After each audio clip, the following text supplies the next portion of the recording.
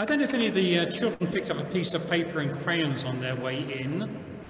I'm just trying to think that for the next 10 minutes while I'm going to say something, uh, you could think about the following rhyme, basically. You could draw a picture which it might inspire for you.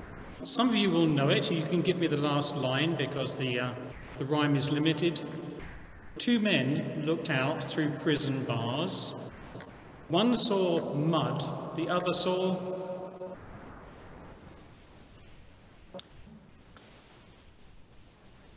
Yes, okay, that's good. Yeah, nobody's calling out. That's very appropriate. They're doing like this. Okay, two men. So here we go. Do you want to try and do a picture of that, or you at home, you know, who are younger, I want to think about that, looking out through prison bars and what do you see? That fits in quite well with the uh, readings today. Look, this is the first time back for me on a uh, Sunday service. And truthfully, I feel a bit out of practice.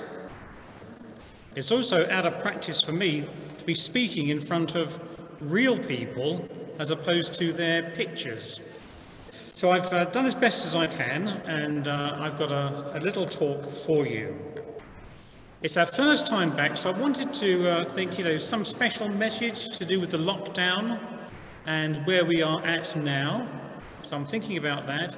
I'm also thinking about, in recent weeks, we've been looking at Paul's letter to the Philippians, which Clive mentioned. So I've uh, put together some verses and some thoughts from Paul's letter to the Philippians. In this talk, we can look back on the past year and how things might have changed for you with whatever busyness, or sadness that you've experienced, but also we stand on the threshold of something different. Let's see if we can get some inspiration from Paul in his prison cell all those years ago. Prison in those days had very few comforts, and Paul was a man of in his 50s or very early 60s and one writer wrote a book entitled uh, about the Apostle Paul, Paul, Apostle of the Free Spirit. Apostle of the Free Spirit. I just wonder what it's like to be a person of free spirit who gets confined to a prison cell with an uncertain outcome. If he's lucky, he might be able to see a bit through the door or through the window, and I wonder what he could see. His life had changed because he was a, uh, a travelled man going by road and by boat here and there. He had freedom to preach when he was younger, but now he was in chains, chained up physically. But if you are chained up physically, does that mean that you can't anymore have a free spirit. It would be difficult, but to be in chains physically might still give you the chance of still having that free spirit. That's to do with the poem. What can you see through the prison bars? Is it mud or is it stars? How indeed does Paul cope with his captivity?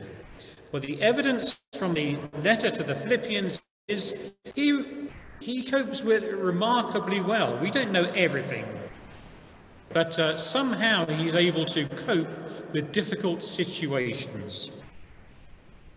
When I think of the Apostle Paul, there's a book title, not Apostle of the Free Spirit, another one that comes to my mind. And those of you who are younger might have read this or had this read to you. There are two books that have the title, Once There Were Giants. Would you like to wave to me if you've heard of that? Once There Were Giants? Okay, I'm trusting those who are watching online to have hold, held up your hand because we've got a, a zero response from here. It's a book for children. It's written by Martin Waddell, and it's about when somebody was very, very small, they seemed to be surrounded by giants. And sometimes when you come into church, if you're very small, you might feel just the same way too. Everybody is so much bigger than you are. So that's a book, Once There Were Giants. But actually, that's not the book I'm thinking of. I'm thinking of something altogether different, but still having the same title Once There Were Giants. The second book was written for adults by Jerry Izenberg. It was about the golden age of heavyweight boxing from 1962 to 1997. So the, this was the, the giants in the golden age of heavyweight boxing. But actually, I think that's something of a parallel that I think of the Apostle Paul himself as being a giant in the golden era of the Christian faith. I've just changed the last ones. He was a giant. And you can see this in the prison cell. The prison cell doesn't seem to get on top of him. Uh, most marvelous. In his prison cell, he's there fighting for the faith with passion and grace. Well, I share the same faith, I think, as the Apostle Paul, but I am hard pressed to say that I'm in the same league as him when it comes to inner toughness. One evidence for how well he was able to cope in a prison cell was that he was able to transform it into a holy place. This is an interesting thought to me. To transform an ordinary place, for him a prison cell, into a holy place. And in that holy place of his prison cell, his faith, love, and hope still shone out to others. And he also transformed his prison cell into a place of prayer.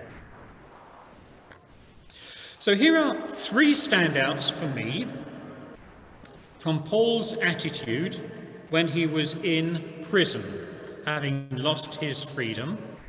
And I'm now thinking about you and about me and about some losses uh, which we may have gone through in the past several months, basically. First of all, whatever he had lost in terms of personal freedom, he still had a sense of direction and ambition. His life was not going to be defined by his prison cell. His mind was still free to dream and to plan. He imagined what he was going to do once he was free. The second standout is that even though there was no electricity and probably very little lighting in the cell, and he was surrounded by an emotional darkness and difficulty. He protected his mind from his current darkness and focused instead on light, beautiful thoughts, and hope. The third standout is that he had learned the secret of contentment. Well, I wonder how we have got on during whatever difficulties and different difficulties we've been through during this lockdown period. What have we learned? How have we kept ourselves um, with a, a mind that did not succumb to the darkness? And what hope do we still have for the future? So we're switching from Paul to you and to me. I don't want to change places with him in his prison cell. They were brutal in those days. I wouldn't swap my lockdown experience for his experience in the prison cell. But I ask the question are the three standouts which I mentioned possible pathways for you as you stand on the threshold of a new situation? You probably will have less restrictions and more freedom, but how will you use your freedom? Like the Apostle Paul, can you have a plan for what you might do when you get free from all of this? And so, I wonder what I could do differently when the COVID lockdown allows. What I could do differently when the COVID lockdown allows. And secondly, what would it be like to serve Christ wholeheartedly and with a free spirit? I wonder.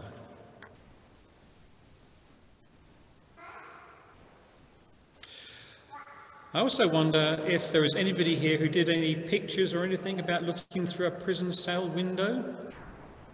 Or those of you at home who I can't see. Um, but it's all about that. Within our own limits, what can Jesus bring to our life of light and beauty and hope?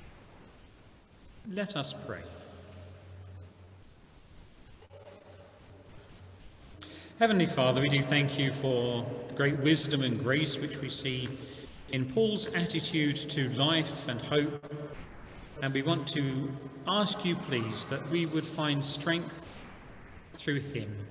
We thank you that he is an example to us and he is one of the giants of the golden age of the early church. In your name, Amen.